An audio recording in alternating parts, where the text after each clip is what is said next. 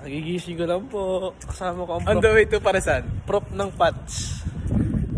Iniscam ako.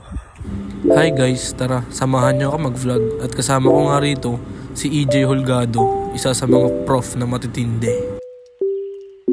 At eto, sabi niya, punta lang kami ng Parisan pero napunta kami dito sa Baklaran. At papunta nga kami dito ngayon sa Carriedo at pupunta kami sa Estero, sa sikat na kainan sa Binondo. Napakahaba nga pala ng pila dito sa LRT at first time kong sumakay dito sa LRT. Kaya eto, Nakapila ngayon si EJ at papasok na kami ng tren.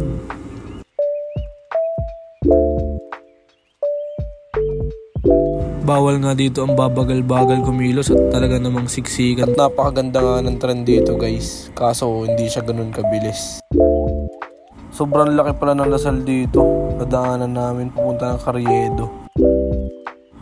At ito, nakababa na nga kami dito sa Quiapo. Sobrang dami ng tao talaga dito sa Manila. Kahit saan ka tumingin, siksikan talaga yung mga tao dito.